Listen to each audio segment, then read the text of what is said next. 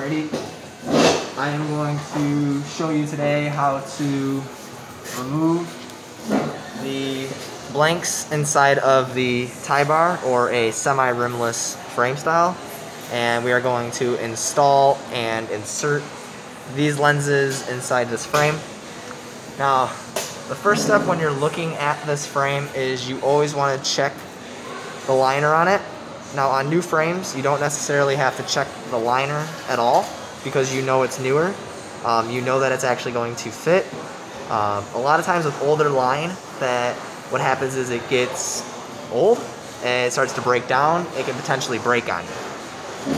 So, if it does break, you do have to do a restring, and I can show you that in a different video. Now, with these, I will just use a simple safety pin, or I'm sorry, uh,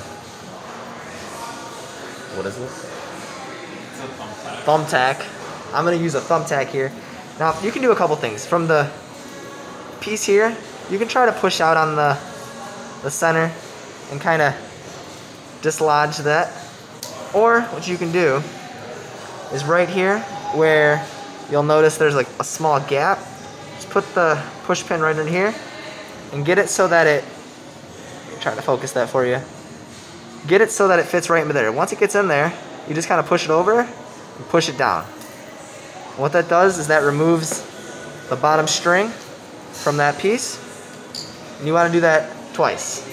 So come over to the other side, push that piece in there, kind of shimmy it in there.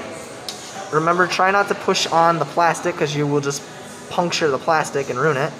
Push down, removes it. So now you have two pieces. These will fit this. After this, you will take your string Once you have your string, you'll line up your lens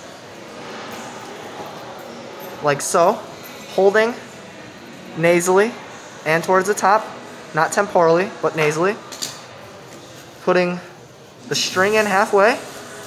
And once you have that string in there, just let it let it kind of sit in there, let it dangle.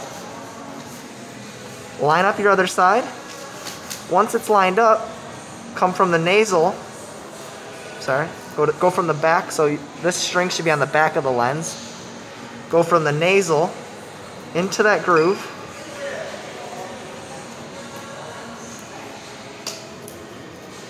Make sure that front tops is lined up as best as you can. Into that groove. Remember the string's on the back side. And what you want to do is you want to, little tension,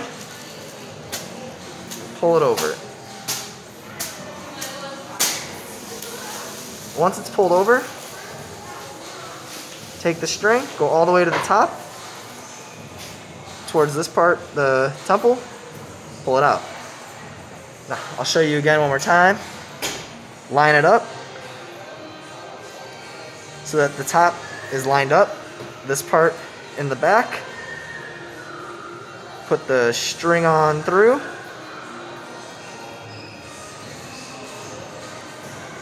Start from the temple. I'm sorry, start from the nose. Work over to the temple. Keep it inside that line. Give it a nice tug at the end here. Over the corner. Bring the string up. And you have finished a mounting. When you are finished your mounting, you just want to make sure that this is all lined up. So what I do is I take my thumbs and I just kind of give it a quick little little squeeze, little squeeze just to make sure it's all even. I make sure these points here are equal. Make sure this is equal. Make sure that there's no string hanging out of any of the sides. Clean them up and you're good to go.